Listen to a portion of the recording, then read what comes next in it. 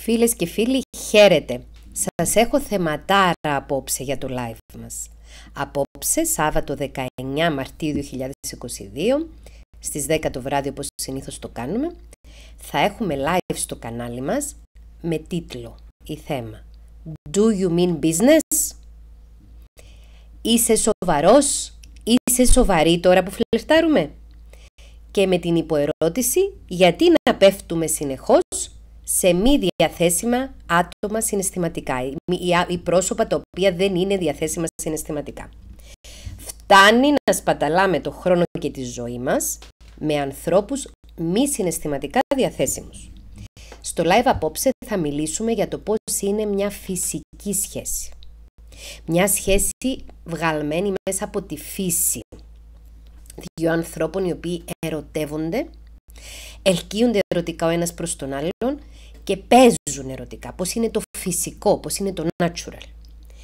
Τι είναι καλό να προσέχουμε τόσο στο φλερ τόσο και στο dating και πώς να κάνουμε πρόληψη στην αρχή μιας γνωριμίας, στην αρχή της δημιουργίας μιας σχέσης, ώστε μετά να μην μου στέλνετε γράμματα από αυτά τα πάρα πολλά γράμματα που έχω, έχω πάρα πολλά, δεν προλαβαίνω καν να τα διαβάσω. Προσέχουμε για να έχουμε τον πολύτιμο εαυτό μας. Και επίσης ένα άλλο ερώτημα το οποίο θα προσπαθήσουμε να απαντήσουμε είναι γίνεται κάποιος να μας αρέσει λίγο η μέτρια; τι σημαίνει αυτό μου αρέσει αλλά. Έχεις πολύ ωραίο πρόσωπο αλλά.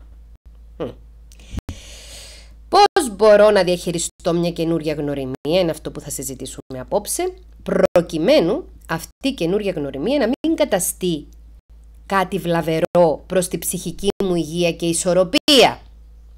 Κάνουμε ερωτικές σχέσεις ή προσπαθούμε να κάνουμε ερωτικές σχέσεις για να κάνουμε τη ζωή μας καλύτερη και όχι για να πάθουμε καινούρια ψυχικά τραύματα.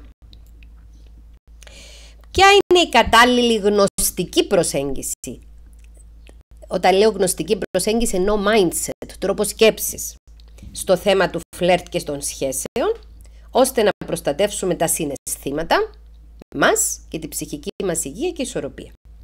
Θα συζητήσουμε κάποιες ιστορίες που μου έχετε στείλει και θα προσπαθήσουμε να απαντήσουμε σε όσα περισσότερα ερωτήματα προκύψουν κατά τη διάρκεια του live. Σας περιμένω απόψε, ετοιμοπόλεμους, ετοιμόμαχους, γιατί πραγματικά φτάνει να καταδεχόμαστε, να μπαίνουμε σε καταστάσεις οι οποίες μόνο ζημιά μπορεί να μας προκαλέσουν και δεν μας δίνουν καθόλου χαρά, καθόλου ευχαρίστηση και δεν κάνουν τη ζωή μας καλύτερη. Θα τα πούμε απόψε. Φιλιά!